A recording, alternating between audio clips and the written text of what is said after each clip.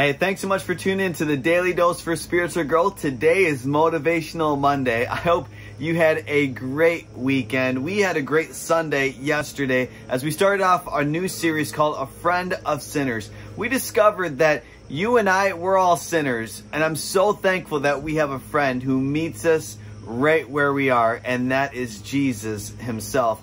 The scripture today comes from the book of Matthew. It's in a couple other Gospels as well, but we'll be reading from the book of Matthew, chapter 18. It's one of Jesus' parables, and a parable is something that Jesus, or really anybody, he, he, he takes on a subject that is relatable to everybody, and a lot of times Jesus referred to farming and fishing and uh, gardening because that's who his audience was.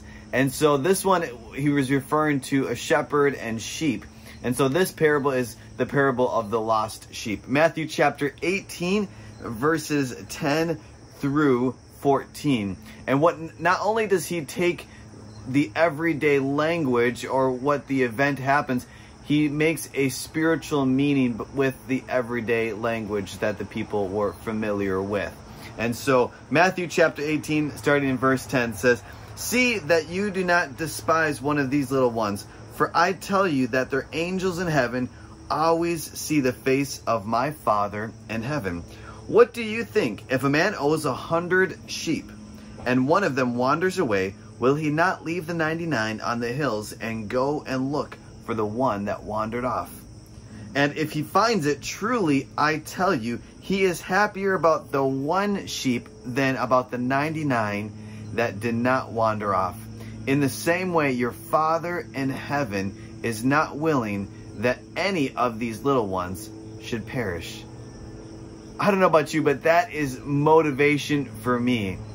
That our Heavenly Father, His love for us runs so deep. He knew that there was separation between us and Him because of our sinful nature, because of what happened at the Garden of Eden with Adam and Eve.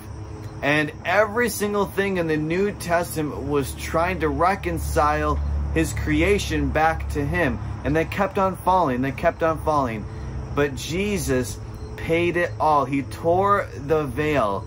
And now we have access to the Heavenly Father. And not only that, He meets us right where we are. He seeks us. And we can go to him because the sacrifice of what Jesus Christ did. So I hope that is motivation for you. Let's dig into his word today. Let's thank him for the cross and the sacrifice that he made for you and I. May God bless you and have a great start to an amazing week that you're going to have. Thank you so much for tuning in today. Make sure to turn in tomorrow for another daily dose for spiritual growth.